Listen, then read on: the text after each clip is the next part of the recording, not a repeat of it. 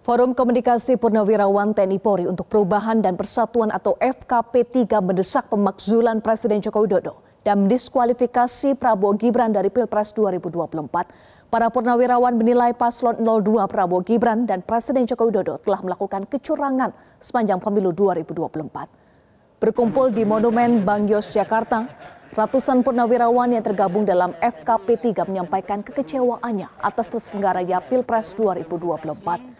Para purnawirawan memberikan catatan buruk terhadap gelaran Pilpres 2024. Mereka mengeluarkan sikap tentang pemakzulan Presiden Joko Widodo dan mendesak diskualifikasi paslon nomor urut 2 Prabowo Subianto Gibran Raka Buming Raka. Mantan Wakil Panglima TNI Purnawirawan TNI yang juga mantan Menteri Agama Fahru Rozi menilai aksi Presiden Joko Widodo yang secara nyata cawe-cawe selama pemilu 2024 dengan menggerakkan aparat pemerintah mendukung paslon 02 telah menodai demokrasi di Indonesia. Selain itu pencalonan Gibran sebagai cawapres juga dinilai telah melanggar hukum dan konstitusi. Satu, memprotes keras deklarasi pemenangan 02 yang dilakukan berdasarkan quick count yang yang bukan merupakan hasil resmi pemilu.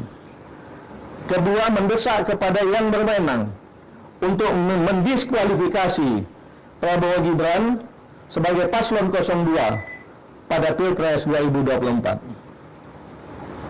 Kemudian untuk menjadi pelajaran bagi semua penjabat negara, kami mendesak Presiden Joko Widodo dan semua penjabat yang telah merusak demokrasi dan hukum Indonesia secepatnya mundur atau di Jelajahi cara baru mendapatkan informasi. Download Metro TV Extend sekarang.